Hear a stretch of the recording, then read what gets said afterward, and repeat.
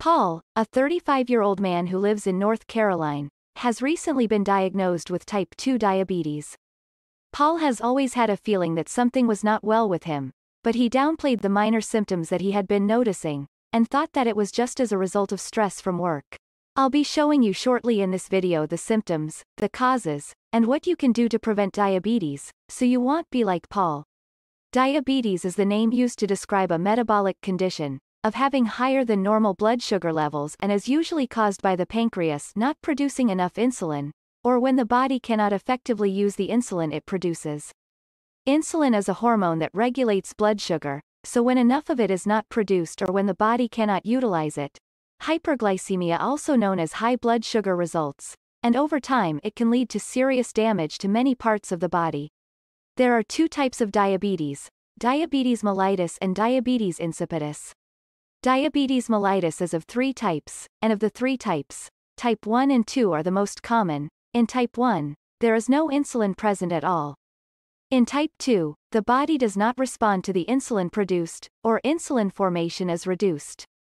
The third one is gestational diabetes. The gestational diabetes develops in pregnant women who have never had diabetes. How then can you determine if you have diabetes mellitus, or diabetes in short? The early signs of the condition typically appear when blood glucose levels are higher than normal. Both type 1 and type 2 diabetes share some of the same warning signs. However, in the case of type 2 diabetes, these warning signs may be mild and may even go unnoticed, whereas in the case of type 1 diabetes, the symptoms typically appear early and are significantly more severe than those of type 2. These early indications of diabetes include the first is hunger and exhaustion, the food we eat is converted into glucose, which is then used by our cells for energy. However, our cells need insulin to take in glucose, and if the body doesn't produce any insulin or if the cells are resistant to insulin, then this glucose can't get into them and subsequently you have no energy. You may become even more hungry as a result of this. The second indicator is increased thirst and urination. A diabetic may urinate far more frequently than the ordinary person. Normally, once glucose passes through the kidneys, your body absorbs it again, but this doesn't always happen in the case of diabetes. In people with elevated glucose level, the kidneys might not be able to filter it all back in, which causes the body to produce more urine and use up more fluid in the process. As a result, you may feel extremely thirsty and drink more water, which will cause you to urinate more frequently. The third is dry mouth and itchy skin.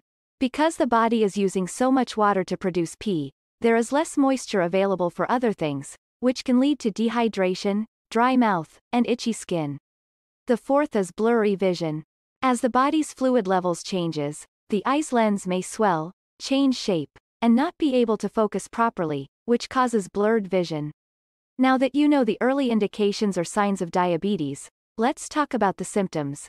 The symptoms appear after the glucose level is high for a long time. The symptoms include yeast or fungal infection. Fungi can grow in any warm, moist skin, creases, including those between your fingers and toes, under your breasts, in or around genital organs of people who have diabetes. The fungi can affect both men and women who have this condition. Second, slow healing of wounds or cuts.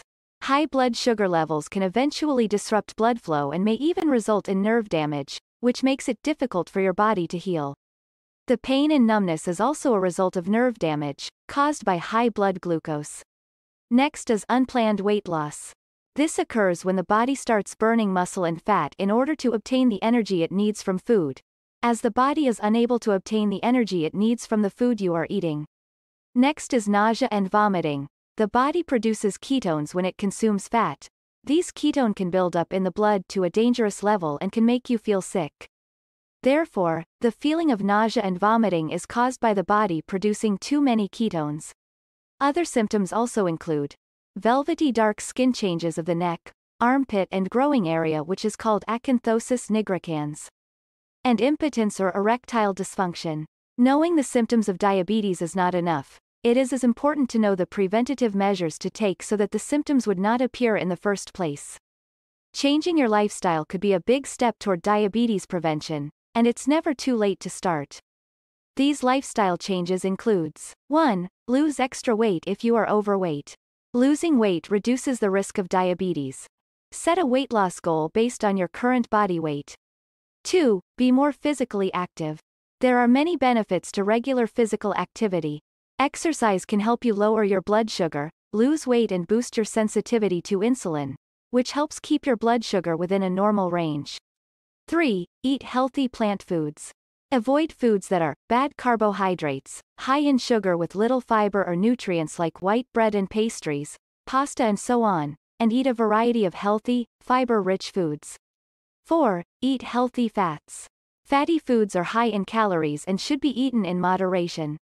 To help lose and manage weight, your diet should include a variety of foods with unsaturated fats, sometimes called good fats. Lastly, skip fad diets and make healthier choices. Many fad diets, such as the glycemic index, paleo or keto diets, may help you lose weight but there is little research, however, about the long-term benefits of these diets or their benefit in preventing diabetes.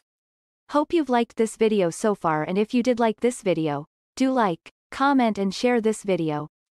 Thank you.